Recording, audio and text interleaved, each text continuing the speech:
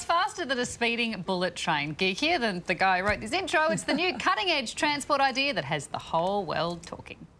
Planes, trains, boats, and automobiles. For more than a century, these have been the four pillars of transport connecting the world. But soon they could be joined by something new a revolutionary fifth mode of mass transit. And boy, is it fast! It's called the Hyperloop. It's a system of giant suspended tubes.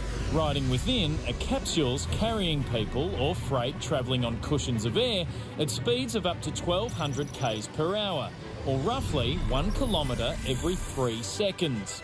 It might look like something from science fiction, but Hyperloop is the brainchild of Elon Musk, a guy who's made billions turning science fiction into science fact. He not only created PayPal, he's also the mind behind the successful commercialisation of space travel through his company SpaceX and the cutting edge Tesla electric car. Elon Musk is part of a generation of people like Larry Ellison, who just bought a volcanic island, uh, Richard Branson, who's building a space platform. They're almost like Bond supervillains. Hyperloop has been pitched as an alternative to high speed rail to link cities less than 1,500 k's apart. Musk says it's safer, immune to weather, and 10 times cheaper than high speed rail. In Australia, politicians have been arguing about a high speed rail link between Sydney and Melbourne since the early 80s. Their biggest issue, the $100 billion plus price tag.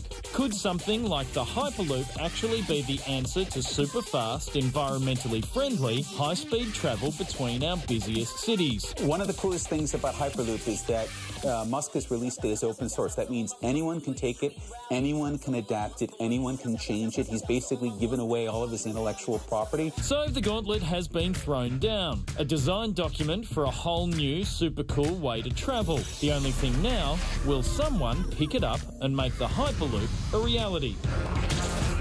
So cool. Crunch some numbers today. Sydney to Melbourne, Melbourne to Sydney, 40 minutes. Lee, would you do it? Would you Kil- ride a kilometre every three seconds. Absolutely. And I think one of the things about this, though, that wasn't mentioned then is the fact that once this is developed, they're going to make the technology open Available, source. yeah. So it's not under patent. Anyone can come along and develop and use the technology. Would you go the first, the first one though? Be the first one in the first capsule? Absolutely. Really? Yeah. Oh no, you'd want to test it out a bit first. what- right? what put a couple of case it all cats in first or something, They- it. They're going to go every minute apparently. So each minute a new a new capsule goes. There'd be What like if- ten people in each capsule. yeah. What if one breaks down? And And- Yeah, I'm sure, I'm sure they've thought it through, Dave. I'm sure they're not I watching this. I'm sure the eggheads that wrote all this down were like, oh my God, we did not think of Well, that. yeah, what- I just saw it. I just thought, make it Seriously. like a giant air hockey table, everything will be fine. Look, when it happens and it crashes, remember when you heard about it here, right? Yeah, the suppository of all wisdom. Take a break, back in a tick.